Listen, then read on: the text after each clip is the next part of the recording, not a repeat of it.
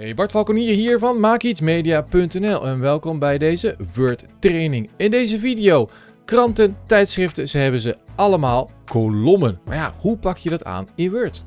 Check de hele training op maakietsmedia.nl slash Kranten, tijdschriften, folders, ze hebben het allemaal kolommen. Hè? Want standaard is er gewoon één kolom, helemaal van links naar rechts over de hele breedte van de pagina. Maar je kan je ook indelen in uh, kolommen. En waar vind je die? Die vind je hier bij indeling. En heb je daar kolommen. En als ik op kolommen klik, dan kan ik hier kiezen voor 2, 3 en uh, nog meer. En als ik op 2 klik, dan gaat hij dus het hele document opsplitsen in twee kolommen. En wat ook opvalt, als je bij beeld hier een liniaal aan hebt staan, en kijk ook vooral de video over wat je allemaal kan met liniaal in Word, dan zie je dus dat het niet meer één liniaal is, gewoon uh, de, hele, de, hele breedte, maar dat je dus hier een stukje liniaal hebt en daar een stukje liniaal. En in die liniaal heb je dus ook hier dus uh, die marges die je daar kan verplaatsen van links naar rechts en uh, tab en deze dingen met uh, inspringen en, en dat soort dingen bij de linea kan je allemaal fixen zoals je dat van lineaal weet. Dus als je dat filmpje hebt gekeken.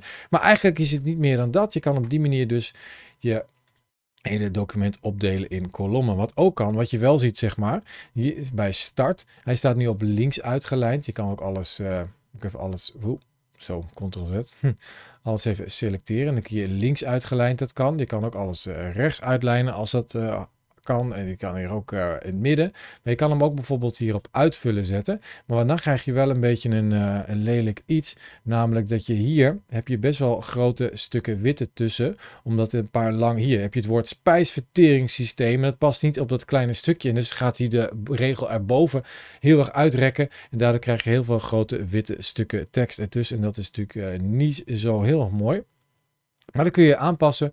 Hier bij indeling heb je hier ook woordafbreking. Als ik hem op woordafbreking, dan zet ik hem hier op automatisch. Hoppakee. En dan gaat hij dus, wat hij dan gaat doen, is overal streepjes uh, zetten. Predatoren kunnen. Zie je met een streepje. Gaat hij woorden doormidden hakken. En op die manier heb je dus niet meer van die lelijke streepjes overal door middel van automatische woordafbreking. Dus uh, ja, super geinig. Nou, wat kunnen we nog meer doen als we toch bezig zijn? Afdrukstand liggend. En als ik hem liggend maak, dan krijg je hier dus een gekantelde pagina. En dan heb ik twee kolommen, maar omdat we de pagina hebben gekanteld, is het misschien ook wel schijnig om bijvoorbeeld er drie kolommen van te maken. Tada! En heb je opeens drie kolommen. En uh, nou, wat kunnen we nog meer doen? Hier bij kolommen heb je hier ook nog meer kolommen. Dan krijg je daar een uh, schermpje met wat meer instellingen over alles over kolommen.